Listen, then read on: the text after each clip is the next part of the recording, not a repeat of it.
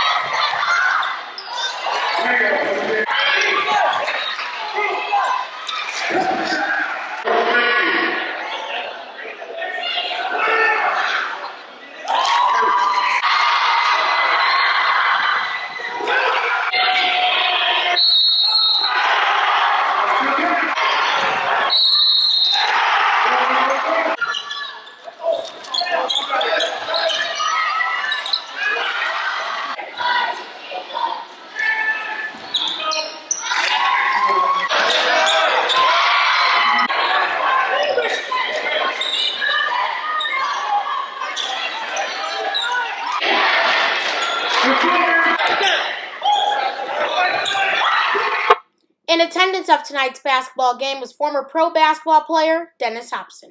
So, what were your thoughts on tonight's game? I just got here at the end, but I know it's a great rivalry game and with TC and uh, Maumee Valley.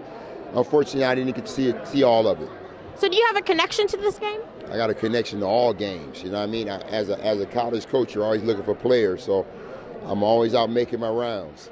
Maumee Valley did end up losing to Toledo Christian 44 to 60. Reporting in Toledo, I'm Jaden Jefferson.